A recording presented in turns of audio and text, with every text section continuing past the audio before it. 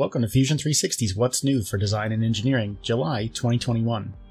For this release, we've got some exciting updates to the ruled surface command, new functionality for assembly references, new additive symmetry constraints for generative, and biggest of all, a brand new set of mesh tools is on deck to help work with STL's, OBJs, and 3MF files. Let's jump in and take a closer look. Before we get too deep in this month's update, I wanted to make sure everyone was aware of a change that was made to how we save STL files. You may be used to right-clicking on a body or component in the browser and selecting Save as STL. Because of some new mesh tools, there's a new save functionality that also includes 3MF output. If you're looking for STL or 3MF, they are under the Save as Mesh command in the right-click menu. The functionality isn't any different for STLs, we just added 3MF as a possible output type. More on the new mesh tools in a few.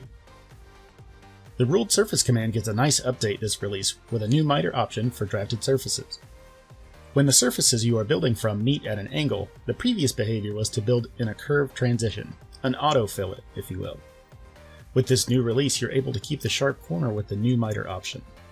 This makes maintaining G2 fillets across the A side of a part much simpler. And oh yeah, in case you missed it with the May release, the surface analysis tools are here as well. Next up we have some performance enhancements to patterning tools. The most immediate thing you'll notice is the speed of the preview for complex patterns. There is also some under-the-hood performance boost to the selection and cancel functions. This is the first step in a whole bunch of enhancements coming to patterns in the near future. Stay tuned for updates on these tools. When it comes to assemblies, we're excited to announce new assembly reference functionality within Fusion 360. This function allows you to bring in references from a larger assembly into a part so that context can be maintained. This means being able to work on a single external part with references, like sketch projections, from the assembly that the part goes into. This one gets a little deep, so I encourage you to check out the learning content to get up to speed. For generative design, we have two updates to bring you this release. First off, the symmetry constraint has been enabled for additive manufacturing. Second, the metadata from the results view is now exportable as a CSV for downstream post-processing. It's worth noting that the sliders in the results view that affect the recommended outcomes will also affect the recommendation score in the CSV file. The CSV data is a snapshot of the Explore screen at the time of the export. Last but definitely not least is the new release of Mesh. This new workspace marks the graduation of our Mesh tools from preview status to public release. You will notice that there's now a Mesh tab that is persistent across both parametric and direct editing modes.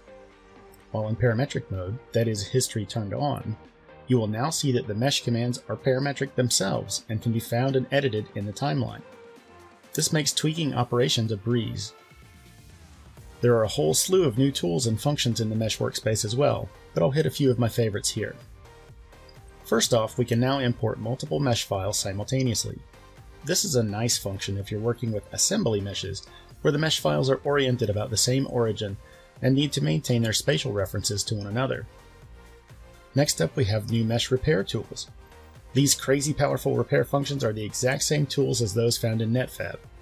Speaking of which, if you were a previous user of the Netfabb online model repair service, it has now been retired and those functions are included in the mesh workspace inside Fusion.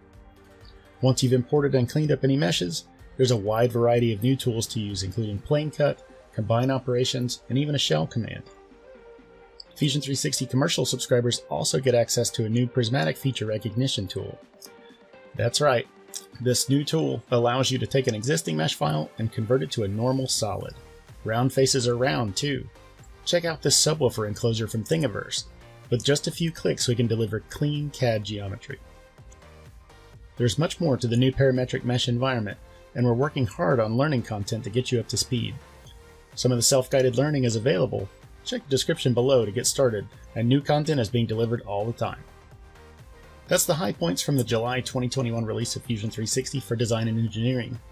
As always, there's more detail on the blog, as well as in the electronics and manufacturing videos, which are linked below. Thanks for hanging out, and be sure to check out the New Possible podcast. Episode 5 features the CEO of One Click Metal discussing how to scale a tech startup. Oh, yeah, one final comment. Now until July 30th, 2021, Fusion 360 subs and extensions are 30% off. Now's a great time to snag unlimited generative design studies with the Generative Design Extension, uplevel your CNC game with the machining extension, or get your PLM on with the Manage extension. Check out the link below for more information.